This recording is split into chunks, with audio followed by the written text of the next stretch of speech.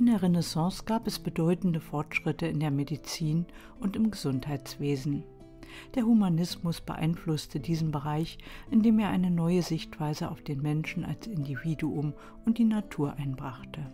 Kräuterkunde, Hygiene, Diagnostik, neuartige Behandlungsmethoden sowie hilfreiche Hilfsmittel wurden in dieser Epoche entwickelt, die das Wohlbefinden des Menschen erheblich verbessert haben.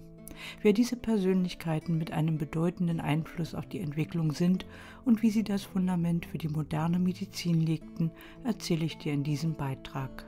Künstler und Wissenschaftler wie Leonardo da Vinci, Andreas Vesalius und Hieronymus Fabricius d'Acquapendente trugen unter anderem dazu bei, das Verständnis der Anatomie zu verbessern und das medizinische Wissen zu erweitern. Andreas Vesalius war ein flämischer Anatom und Chirurg, der als Vater der modernen Anatomie gilt. Er führte detaillierte und präzise Studien zur menschlichen Anatomie durch und veröffentlichte 1543 das bahnbrechende Werk Sieben Bücher vom Bau des menschlichen Körpers, das eine Neuausrichtung der Anatomie und Medizin darstellte. Hieronymus Fabricius ab Aquapendente war ein italienischer Anatom, der wichtige Beiträge zum Verständnis der menschlichen Anatomie, insbesondere des Gefäßsystems, leistete. Er entdeckte die Klappen in den Venen und trug so zum Verständnis des Blutkreislaufes bei. Es wurden auch Fortschritte in der Diagnostik gemacht, wie zum Beispiel die Pulsmessung und die Untersuchung von Harnproben zur Erkennung von Krankheiten.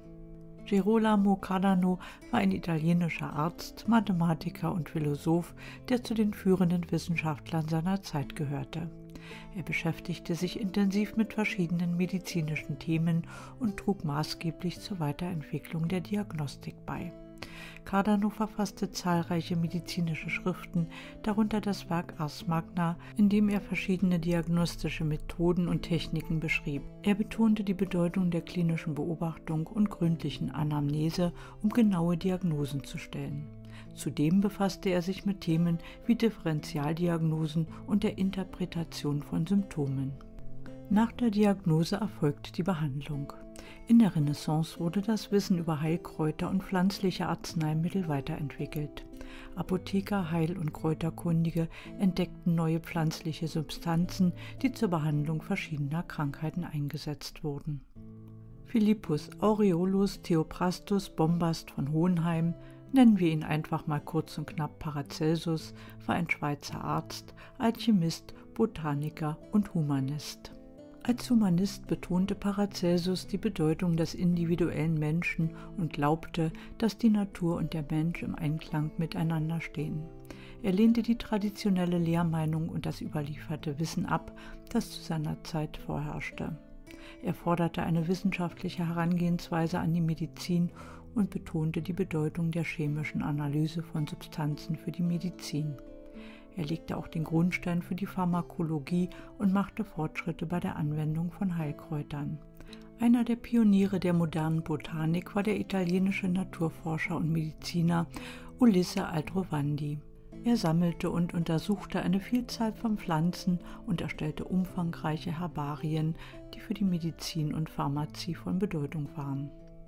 Das Auftragen von Heilkräutern als Heilmittel ersparte dem armen Kranken den Einsatz glühender Eisen, das damals bevorzugte Mittel zur Wundversorgung. Ambroise Paré war ein französischer Chirurg und als Vater der modernen Chirurgie bekannt. Unter Einsatz wirksamerer Technik machte er unter anderem auch Operationen effizienter und weniger schmerzhaft.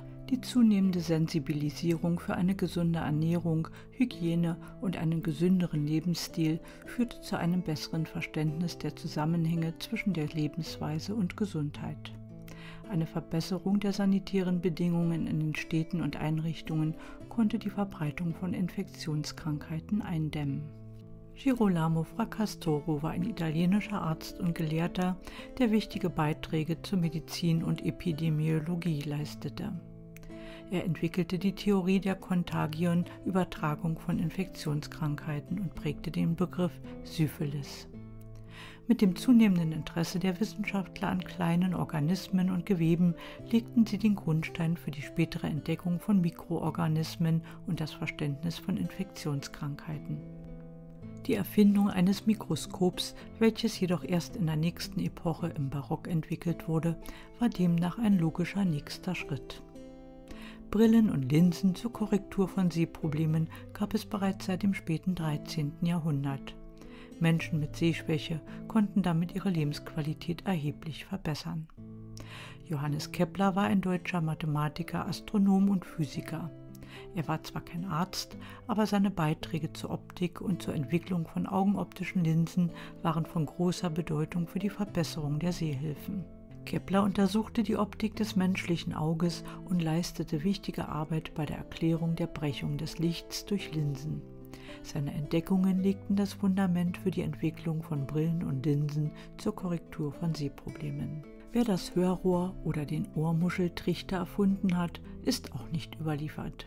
Jedoch war diese primitive, konisch geformte Hörhilfe, die Schall ins Ohr leitete, geeignet, die Hörprobleme der Menschen zu lindern. In jedem Fall spiegelt solch eine Erfindung die kreative und einfallsreiche Natur dieser Zeit wider und zeigt, wie Technologie und Innovation dazu beitragen können, das Leben der Menschen zu bereichern. Der Grundstein für weitere Fortschritte in der Medizin wurde in der Renaissance gelegt und beeinflusste die Gesundheitsversorgung in den folgenden Jahrhunderten. Danke an all diese genialen Wissenschaftler, dass wir uns heute nicht mehr mit Aderlässen oder glühenden Eisen herumquälen müssen.